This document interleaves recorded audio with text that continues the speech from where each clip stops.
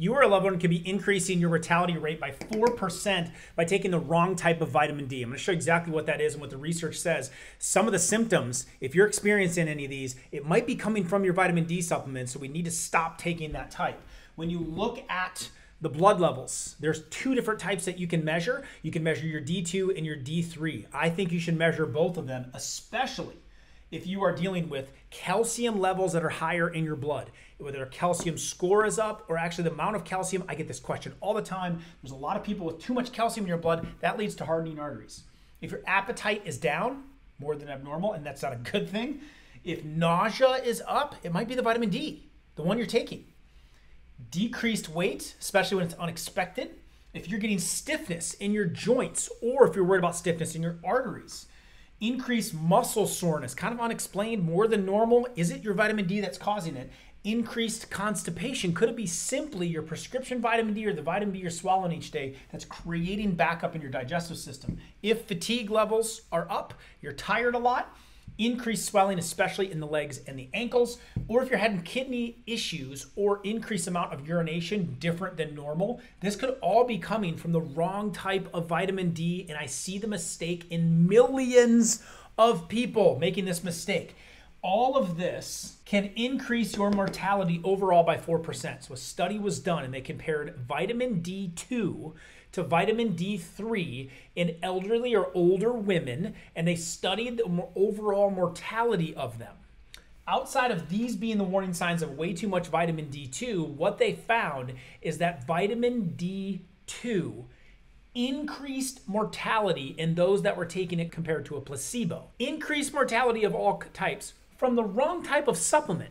This is why I don't agree with your doctor giving you supplement advice if they're not an expert in the supplement, what it is, how to take it, what to do, yet they can prescribe vitamin D2 and give you virtually no other advice on supplements altogether, I think it's a bad approach. So if you're on vitamin D2, I would discontinue it. I would not give it to a neighbor. I would throw it away and I would properly get on D3. D3 is the form that you're going to get from food a lot more often, even though some types of D2 can come from food. We're not talking about that right now.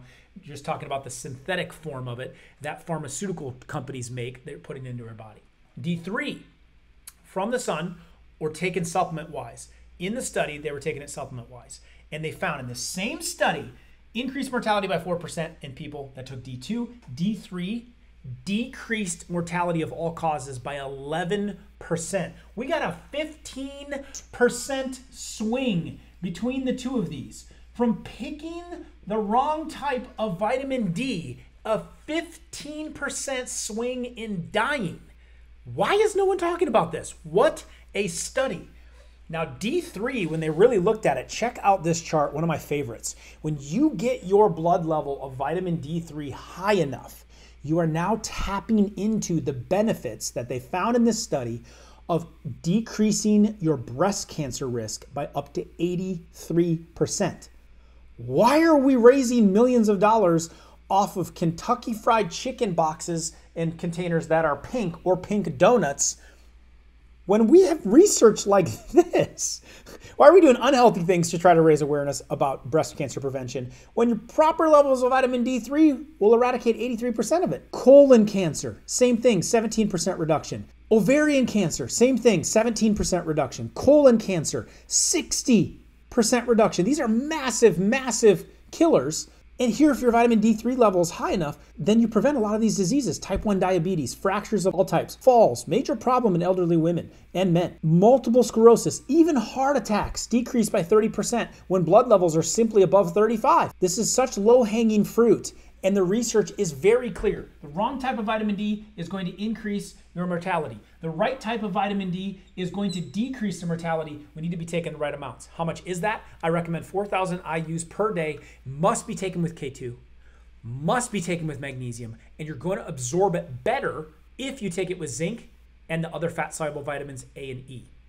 You can throw in some probiotics for a little bonus. In the description of this video is the one that I use and made and formulated for that absorption reason so that myself, my kids, and everyone I teach can increase the chance that they live longer by 11% instead of D2. So if you're taking D2 or a family member is, please share this video with them. And if you're wondering, when do I take these supplements? How do I combine them together? What's the right time of day to take them? What's the right way to take them? I made this video right here to not only cover vitamin D, but all supplements to give you guidance because I know you're not getting the proper guidance from your doctor. Check this video out right here.